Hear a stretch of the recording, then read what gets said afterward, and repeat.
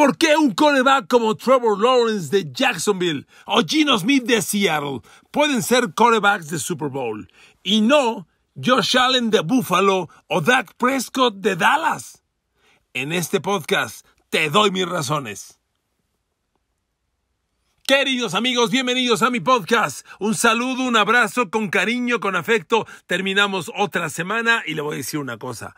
La semana que estamos terminando es la última sin entrenamientos de pretemporada. El próximo miércoles, siete equipos inician prácticas de pretemporada y nada nos detiene. Queridos amigos, queridos amigas, hay luz al final del túnel. Terminó la espera. Bendito sea el Señor. Bueno, ok. Ayer dejamos pendiente un podcast que generó un debate bien interesante. ¿Quiénes son los equipos que tienen quarterback de Super Bowl? Y yo le di mis propuestas. Pero resulta que los populares y famosos Buffalo Bills de Josh Allen y Dallas Cowboys de Dak Prescott, según el señor Enrique Garay, no son equipos de Super Bowl. Y los Jaguars de Jacksonville, de Trevor Lawrence, y Seattle de Gino Smith, sí lo son. ¿Por qué? ¿Cuál es la razón? Sino un capricho. Aquí se lo expongo. Miren amigos, me voy directo al detalle y al debate. Yo le pido primero un razonamiento sobre los corebacks que le dije son de Super Bowl, los ocho que le mencioné. Si usted revisa el camino al Super Bowl de los ocho corebacks que le mencioné, Patrick Mahomes, y, quiero decir, son corebacks de Super Bowl, ganado o perdido. Patrick Mahomes, Joe Burrow, Matthew Stafford, Jimmy Garoppolo, Aaron Rodgers, Russell Wilson, Jalen Hurts, Jared Goff, incluso Jared Goff. Va a encontrar que son corebacks que llegaron a la liga, empezaron a crecer, iniciaron un claro ascenso en su carrera, hasta conquistar el Super Bowl. No tuvieron retrocesos, baches. Un quarterback de Super Bowl llega, exhibe su talento, crece y lo conquista. Y le estoy poniendo ocho ejemplos. Nos podemos ir con un Tom Brady, misma historia. Con un Ben Roethlisberger, misma historia. Eli Manning, misma historia. Aaron Rodgers, misma historia. Llegan a la liga empiezan a crecer. Algunos tardan más, algunos menos, pero van directo a la conquista. Lo que le quiero decir es esto. El coreback de Super Bowl enseña el talento inmediato y lo conquista. Y en el caso de Dak Prescott y Josh Allen, muy en particular, estamos encontrando dos corebacks estancados o que da la impresión que se empiezan a estancar. A ver amigos, le vuelvo a, ver, le hago una pregunta, muy simple. Si usted es de Bills Mafia, le hago una pregunta. ¿Con qué justifica el no llegar al Super Bowl de Buffalo el año pasado? ¿Con qué? Por favor. A ver, amigo, Buffalo el año pasado ganó 13 y perdió 3. Llegó a playoffs, le ganó de milagro a Miami, con un Miami usando el tercer coreback y metiéndole 31 puntos y luego perdió, aplastado, perdón, aplastado por Joe Burrow y Cincinnati, 27 a 10. Dígame, ¿cuál es la justificación? ¿Cuál? ¿La lesión de Von Miller? Por Dios. O sea, hay equipos infinitamente más castigados por lesiones que llegaron al mismo rumbo. ¿Cuál es la razón? Y sobre todo, si analizamos un Josh Allen jugando a un bajo nivel, a ver amigos, en esa derrota que Buffalo recibió, que Buffalo sufrió ante Cincinnati la temporada pasada, cuando pierde en playoff y es eliminado?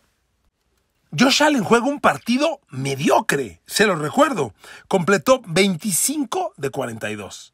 O sea, muy cerca del 50% de pases completos. 264 yardas. Cero touchdowns, una intercepción contra la defensa de Cincinnati, que yo siempre le he dicho es mejor de lo que mucha gente dice. Sin embargo, la defensa de Cincinnati tampoco es la de Filadelfia o la de San Francisco. Y vea qué números entregó Josh Allen. Por Dios, amigos, no nos queda claro con estos números que Josh Allen se está quedando corto de la expectativa. Y lo mismo podemos decir de Dak Prescott. ¿Con qué usted, fan de los Cowboys, me justifica que un Dak Prescott que llegó en el 2016 a la NFL, 2016, a ver amigos, Dak Prescott ya va a jugar su octava temporada en la NFL, octava, o sea, ya no es un chavito. ¿Cómo es posible que jugando su octava temporada tenga dos triunfos en playoff? Dos. Va a decir que hay lesiones, que le ha faltado receptores, que la defensa... A ver, por favor. Dak Prescott se ha quedado corto.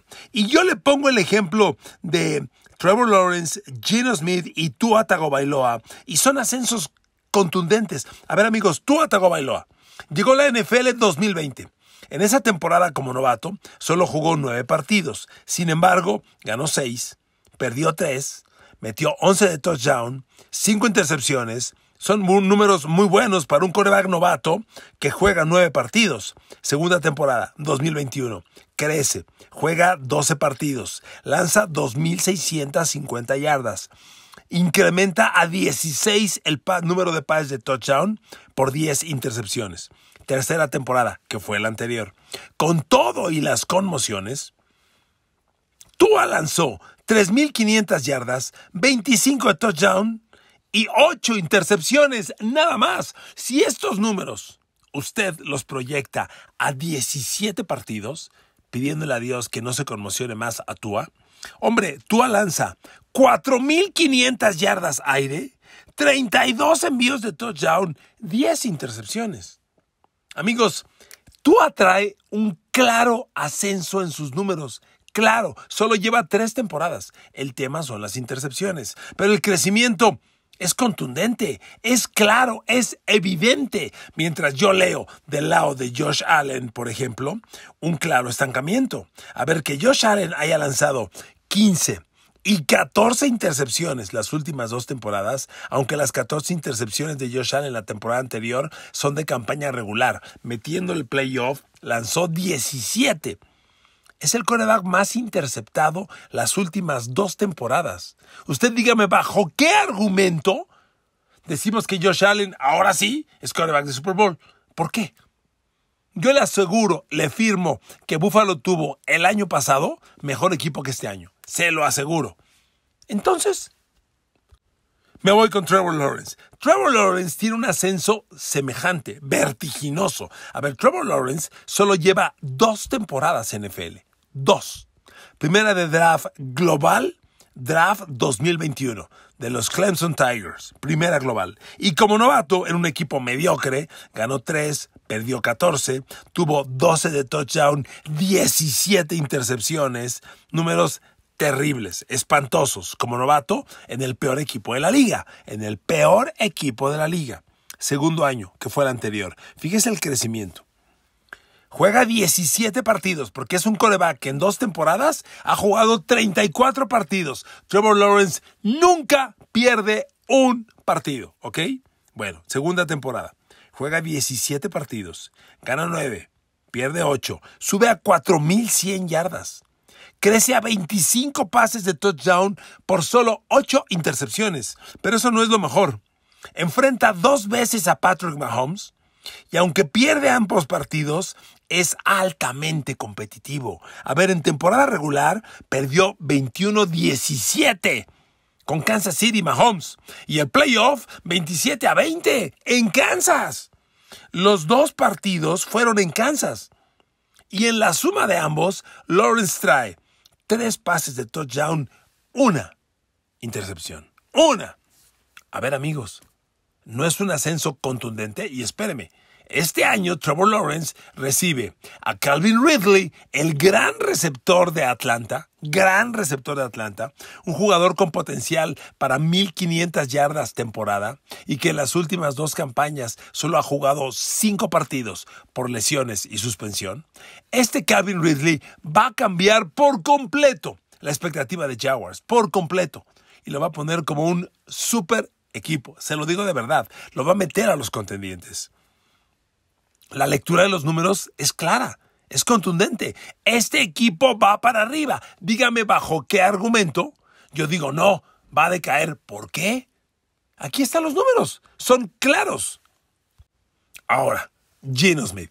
Miren amigos, Gino Smith es una historia bien interesante, porque no es ningún niño.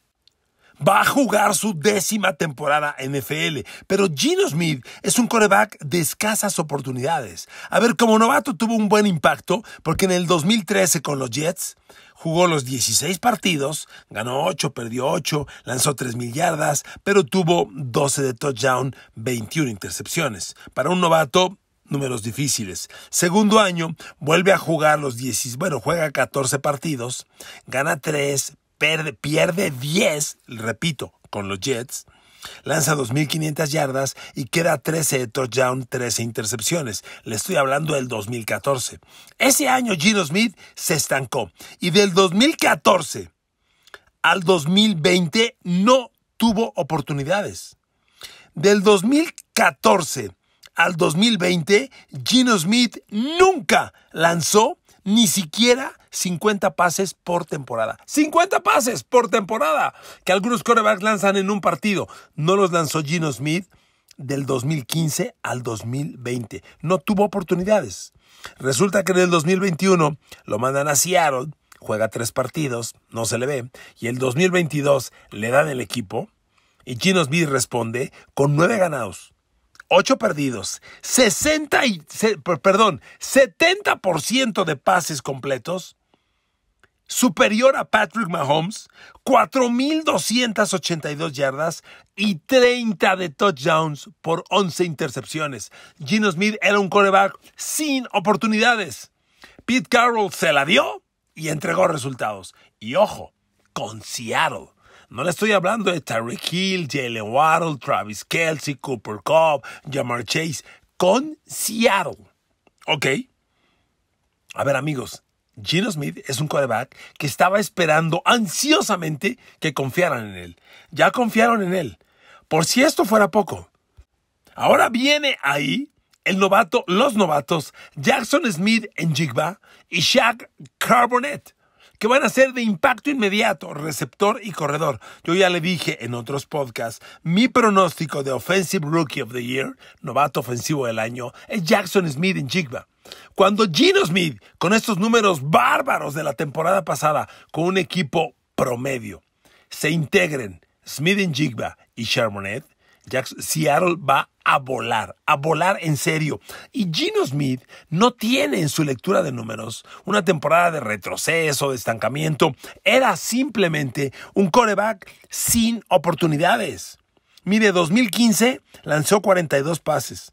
2016 lanzó 14. 2017 lanzó 36. 2018 lanzó 4. 2019 lanzó 5. Hasta el 2000 2020 lanza 5 y hasta el 2021 cuando le sueltan un poco más de oportunidades, aún así solo lanza 95 pases en toda la temporada. Por favor, le dan el equipo el 2022 y explota. A ver amigos, claramente es un coreback con talento, que estaba esperando oportunidad y equipo contendiente. Yo a este coreback le creo ciegamente. Por eso veo a Trevor Lawrence, veo a Tuatago Bailoa, veo a Gino Smith y les compro. Van para arriba, sin retrocesos. Algunos más rápido que otro, pero van para arriba. Y cuando leo a Josh Allen y Dak Prescott, encuentro claramente un estancamiento y en algún caso hasta retroceso. Miren amigos, sería muy fácil poner de ejemplo a, Patrick Mahomes. A ver, Patrick Mahomes como novato no jugó, jugó un partido. En el segundo año le dieron el equipo y Mahomes respondió con 5.000 yardas aire, puso 50 pases de touchdown, puso a Kansas en la final de la conferencia americana que perdió en tiempo extra contra Tom Brady, segundo año como, como en la liga, primero como titular, y para el tercer año puso al equipo en playoff claramente un ascenso trepidante de Mahomes. Pero espéreme, le pongo otros ejemplos. Corebacks que van para arriba lo demuestran. Hablemos de Jimmy Garoppolo. A ver, Jimmy Garoppolo se aventó 2014, su año de novato, y 2015 sin jugar. En las dos temporadas lanzó 27 pases en uno, 4 en otro. No jugó. Para el 2016 ya jugó. Dos partidos reemplazando a Tom Brady y enseñó cosas muy interesantes. En esos partidos lanzó cuatro de touchdown sin intercepción. Con esos cuatro partidos lo adquirió San Francisco. Al 2017 en San Francisco se lesiona y no juega más. Ese fue el, el momento en el que él se estancó. Pero para el 2019 toma el equipo, temporada completa, juega 16 partidos, gana 13, pierde 3, lanza 4.000 yardas, 3.978, 27 touchdown, 13 intercepciones y pone a los Niners en el Super Bowl. A ver amigos, el ascenso es claro, es otro coreback ah, semejante a Gino Smith que estaba esperando una oportunidad. Le llegó, respondió y puso al equipo el Super Bowl. Hoy, como le decía yo en el podcast de ayer, es válida la duda de Jimmy G por el tema de que no está físicamente apto para jugar. Pero amigos, con estos antecedentes, yo se la creo. Sin duda se la creo. El coreback tiene expectativa de eso y demás. Amigos, abro mis comentarios esperando sus opiniones, porque esto requiere un debate. Y le prometo que las leo y les doy su punto muy válido. Sin embargo, queridos amigos, les quiero decir, no es fácil. Generar un coreback de Super Bowl es bien complejo y sobre todo validarlo. Yo sé que Dallas, cuando le preguntan a Jerry Jones, dice que sí. Yo sé que Cleveland y John Watson piensa que sí. Eh, Baltimore le dio a Lamar Jackson el dinero que le dio porque piensa que es el coreback. Pero miren, los equipos pagan expectativa, pagan esperanza. Realmente la realidad la tienen muy pocos. Y por eso ayer les di el dato. Solamente ocho equipos tienen coreback que ha jugado Super Bowl. Solo cuatro hoy tienen coreback que ha ganado Super Bowl. Y solo uno, Kansas City, tiene coreback que ha ganado múltiples Super Bowls en este momento. Es bien complejo tener un coreback de Super Bowl. Yo sé que Pittsburgh sueña con que Kenny Pickett sea el coreback de Super Bowl. Ojalá. Que a ver qué me dicen los Pats de Mac Jones. A ver, Mac Jones, por tercer año consecutivo, le cambian el coordinador ofensivo. ¿Le va a alcanzar a los Pats? ¿Va a competir Mac Jones con Aaron Rodgers, Tuatago Bailoa y Josh Allen? Yo pienso que va a ser el cuarto de sus corebacks. Vamos a ver, pero es sumamente complejo. Entre los comentarios que me llegaron ayer, me dice Parrillero 641, ¿cuántas décadas pasamos sin coreback de Super Bowl? Temporadas perdedoras, con grandes jugadores como Tony González o Dante Hall. Ser un verdadero fan implica estar en las buenas y en las malas. Go Chiefs y suerte a todos, me dice Parrillero. Espero que Allen ponga más competencia y no se caiga a la hora buena, me dice Félix Guerra 12. El juego de San Francisco y Kansas City me dice Víctor Manuel DD8KG, 8 kilos. El juego de San Francisco y Kansas City nunca estuvo 17 a 7, fue 20 a 10. Correcto, Víctor Manuel, es una apreciación correcta de tu parte. El Super Bowl iba 7-3 Kansas primer cuarto, 10 a 10 al medio tiempo. Niners anotó 10 puntos en el tercer cuarto para ponerse 20 a 10 y ahí vino la gran voltereta que yo erróneamente digo 17 a 7. Correcto, tienes razón.